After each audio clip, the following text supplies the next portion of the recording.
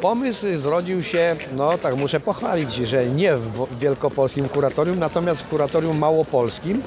Oni tam od kilku lat już y, organizowali taki wojewódzki przegląd dla swoich y, klas wielko, y, małopolski. Która drużyna dzisiaj u nas wygra, będzie reprezentować nasze województwo na tym ogólnopolskim przeglądzie w Brzesku. No stres jest bardzo duży, chcielibyśmy zaprezentować się jak najlepiej, bo oczywiście jesteśmy też w swojej szkole, w swoim mieście, więc chcemy jakąś dumę przynieść e, i mieć się czym pochwalić w przyszłości. W tamtym roku na mistrzostwach e, też wojewódzkich zajęliśmy pierwsze miejsce i później Wielkopolskę reprezentowaliśmy na mistrzostwach e, Polski, gdzie zaję- zajęliśmy piąte miejsce na 16 drużyn. Konkurencja jest duża, co roku jest coraz większa, no bo oczywiście wiadomo, drużyny przygotowują się już szybciej wtedy, ale myślimy, że damy radę w tym roku też. Zawody składają się z dwóch części.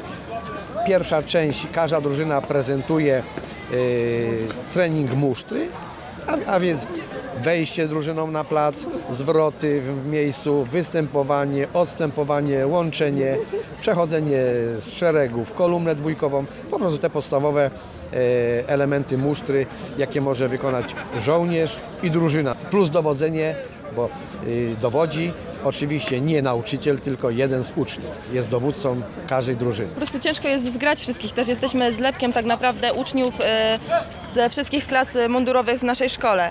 Mamy dziewczynę z pierwszej klasy, ja akurat w tym roku już kończę szkołę, więc też było ciężko zgrać to pod względem nauki, bo no w sumie za miesiąc matura, a próby mieliśmy po, po 8, po, po 9 godzin. Ale myślę, że było warto. I w drugiej części mamy też do 10 minut, bo to takie są wymagania na ogólnopolskim przeglądzie, y, do 10 minut pokaz musztry paradnej. Każda drużyna ma swój układ, tu już się nie wtrącamy, prezentują po prostu układ y, musztry paradnej, jak to nieraz pokazuje e, kompania reprezentacyjna Wojska Polskiego. Układ jest zupełnie inny w porównaniu z zeszłego roku. Oprócz musztry podstawowej, taką jak będziemy przeprowadzać obowiązkową, mamy musztrę paradną, której teraz nie zdradzę. Yy, Myślę, że najtrudniejszego w tym przygotowaniu jest yy, yy, wyrównanie wszystkich, bo jednak każdy jest jeden w swoim rodzaju i robi różne odległości po prostu.